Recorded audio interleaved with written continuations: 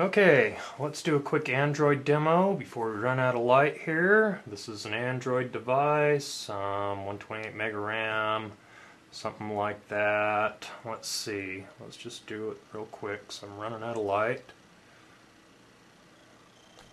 And so we're logged in, we've seen these interfaces on the other devices. We're logged in as our bartender. Let's say we got a customer and he wants a soft drink and under the appetizers he wants a large Greek salad maybe. And he wants grilled something or other and okay. And ranch dressing and okay. And no cheese and okay. And there's his deal. Let's send his order. Got it printing and that would be the order there. Whoa, hey, better like that. Okay, order. And then I guess let's go ahead and settle his check.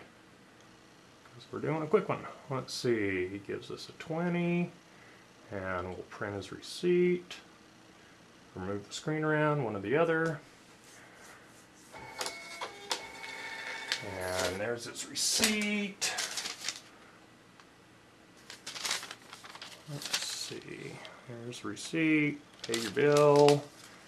And that says done there. And we're back there and it'll probably auto log off after 30 seconds. And that's an Android. There it is. Android device. We can zoom in a little bit. Oh, same interface. Losing light. Zoom out.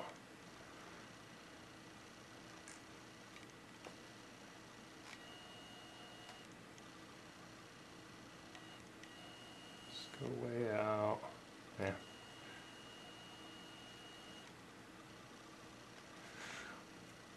All right, that should do it.